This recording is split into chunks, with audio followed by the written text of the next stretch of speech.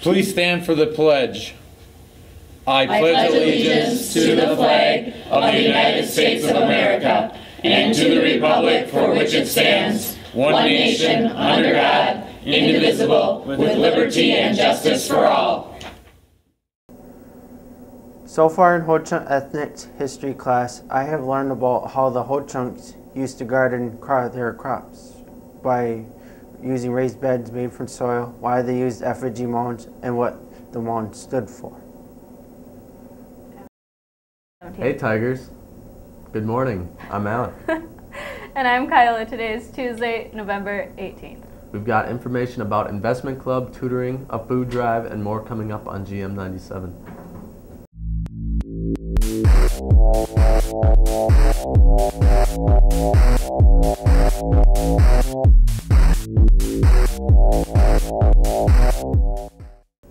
November 17th through 21st marks American Education Week, a week to celebrate public education. Take some time this week to thank a staff member.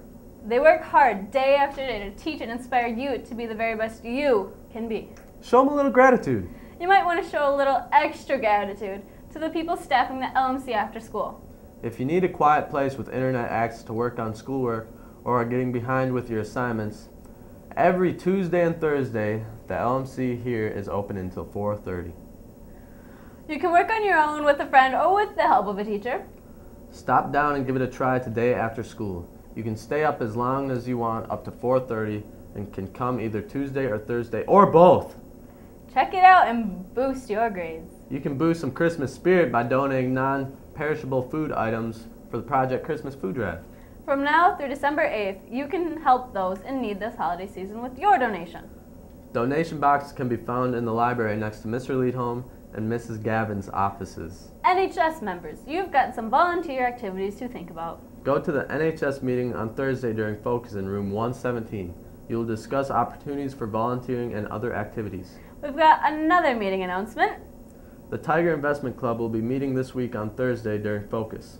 For this week's meeting, you will be joined by Todd Anderson from Anderson Financial. He will be speaking about current market trends and answering your questions. Please plan to attend. And FFA members, you're winding up the cheese and sausage sale.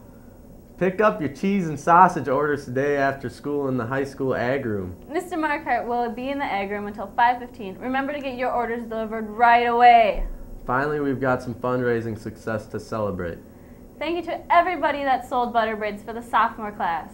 Our high sellers were Hunter Hurst, who sold 28, Alicia